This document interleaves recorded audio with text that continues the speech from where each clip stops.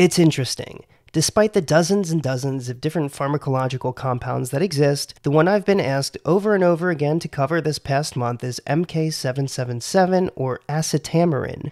You'd think it's just a twist of MK677, which is known as ibutamoren as well, a non peptide growth hormone secretagogue receptor agonist that's already widely discussed by gym bro influencers, bodybuilders, Mike Israetel, as we just talked about, and not to mention the fact that I've covered MK677 extensively its mechanism, its risks, its existing body of research. I'm here to tell you that the hype surrounding MK777 appears to be a lie. It's looking like advertised deception, and I'm going to keep this brief. Honestly, I didn't even want to make this video because I actually enjoy reading research, and there's none to read here. From its name to its supposed chemical structure, this compound is a product of marketing, not of science. This isn't to say MK677 is the same, because it's not. There's actual clinical backing. Ibutamoren was developed by a pharmaceutical company. MK, the prefix of MK677, is part of Merck's internal compound designation system. We've covered its history, it was clinically worked up, and it's a compound actively being pursued for growth hormone deficiency deficiency in children. MK777, on the other hand, was not developed by Merck. It's not undergoing any preclinical or clinical evaluation, and if I had to guess, although I'm not a legal expert, the people selling it probably don't want Merck finding out about its name. I'm not going to post images from the gray market sites selling it not for human consumption, but I will repeat their claims. Greater affinity for the ghrelin growth hormone secretagogue receptor than MK677, greater muscle selectivity, reduced hunger stimulation, all supposedly because it features a fluorinated thioether backbone that resists first pass metabolism. Now, I suppose we can't completely ignore anecdote. Some people on Reddit and forums do say they find it more potent, more noticeable, more helpful in achieving their individual goals, whatever those may be. Others justifiably express concern given that there's absolutely no research, no cell line studies, no animal models, no human clinical data to support these claims. There's no pharmacokinetic data demonstrating those mechanistic claims and no short or long term safety findings. Biochemically speaking, a compound with a fluorinated thioether backbone can exhibit enhanced metabolic stability, but its overall efficacy still depends on additional pharmacodynamic and pharmacokinetic factors. It's a well established strategy to improve metabolic stability and sometimes absorption. And the wild part is, companies claim to have pharmacokinetic data on MK777. They say there's improved absorption and an elimination half life of 8 to 10 hours, but there's no no research indicating this data even exists. I know the compound appears to have been created by Chinese compounding companies, but I literally cannot find a shred of data, not in mice, not in other animal models, demonstrating the findings these sellers describe. It appears to me that they're pulling data out of thin air. Where did they get these half life claims? What preclinical data exists? Under what circumstances was this research conducted? And hey, I'm open to changing my point of view. Those of you who've been here here since the beginning know that when new research emerges, my takes can change, and they have in the past. The purpose of this channel is to evaluate the data at hand. If you want endless promo about MK777, I can almost guarantee some channels will blow it out of proportion, but from me, this is what you get, and right now we all get nothing because nothing is what exists, at least as far as I can dig up. I'm sure those of you who requested this video might find my take disappointing, but probably expected it by now. MK777, to the best of my knowledge, does exist, but at the same time, it doesn't. Well, it does if you're talking about MK0777, a real compound Merck developed for schizophrenia, but this isn't that. Acetamoren seems to be a marketing term based on research supposedly done by companies